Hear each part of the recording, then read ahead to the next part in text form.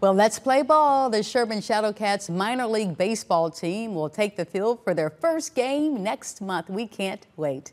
City Council just approved the sale of mixed drinks at the stadium during the games. Council members previously approved beer and wine.